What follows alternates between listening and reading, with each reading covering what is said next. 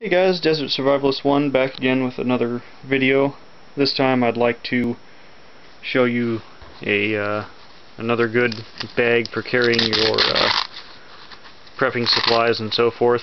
This is going to be the, let's get the terminology right here, the bag carrying protective ensemble, NBC, um, for nuclear, biological, chemical this is what you actually carried your chem suit in through a lot of the 80s and 90s and into the 2000s until they replaced it with the somewhat larger J-list bag but I believe you carried your uh, chemical protective, your coat, pants, and uh, boots and probably some decontamination gear in here. I've never seen the uh, entire setup of what goes into here, but I do have seen, I do have seen, wow, that's a good one.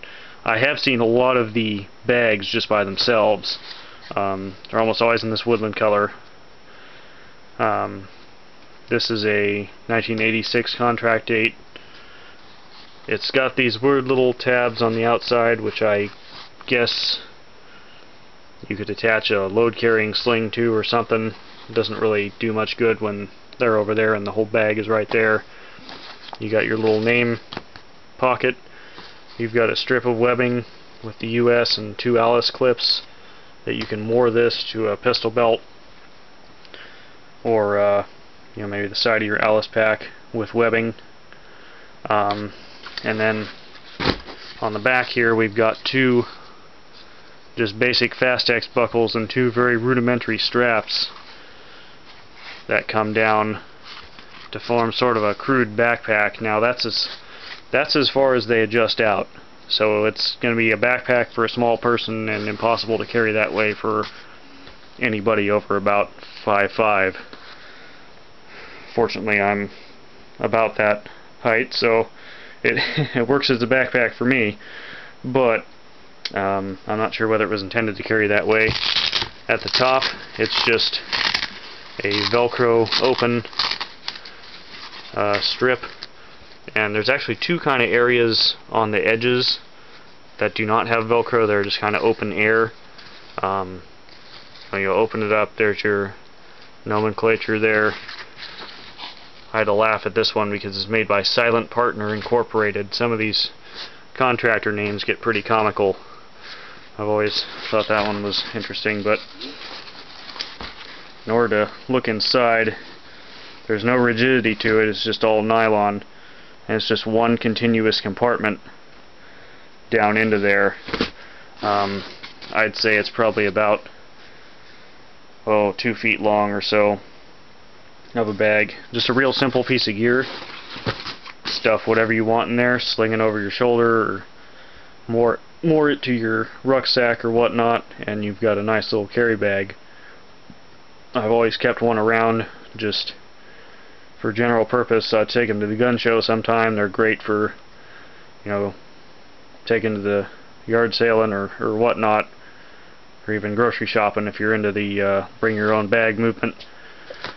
Um, even gym bags, they make great gym bags because that's basically what the uh, you know the real cheap gym bags are is just two straps and your little flimsy backpack thing. So, but this is a hard use gear bag that'll stand up to some abuse.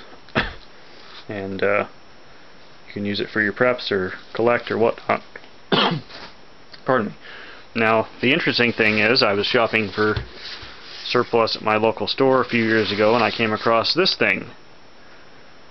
And I said well that looks sort of familiar um, but it's in green I've never seen one green, so I started looking at it and I notice, you know, let's do a little comparison here. Noticing there's some some different features. You know, these are there's two strips of these and they're angled. Pardon me. And uh, you know, there no Alice clips. You know, this is this is just to there, and that's open enough to get a hand through. This one does have the backpack like straps only there's one only one Fastex buckle on that one and they're still the exact same length flip it over, yeah, nothing. The real interesting thing, and this one's rather hard to open, because I'm going to put the camera down real fast, and you get to watch me open it from here because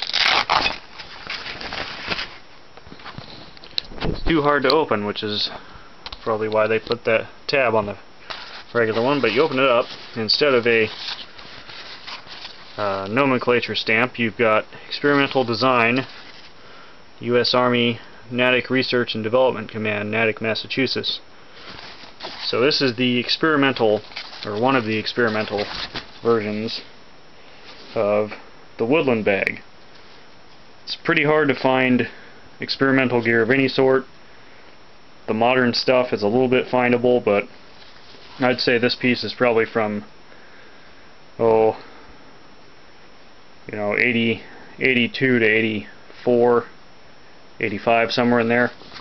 Um, it's kind of funny to realize that they do have to go through a prototyping process even for simple stuff like this but uh, they do it and they test it and they you know they do multiple versions sometimes even after all those tests they don't come out with a good piece of gear but in this case I think they came out with something that was simple but effective for the task and it'll be simple yet effective if you end up using it for your prepping uh, I myself will keep these in my military collection and bust them out when I go on buying trips.